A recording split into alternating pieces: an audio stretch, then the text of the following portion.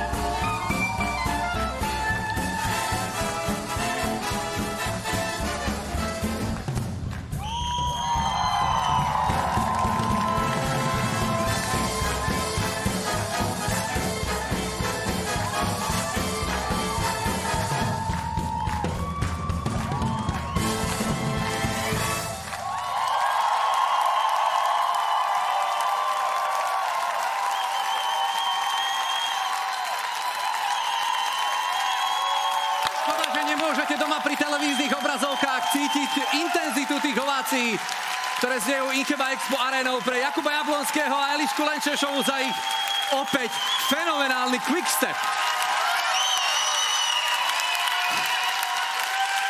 Toto je neskutočné finále, dámy a páni.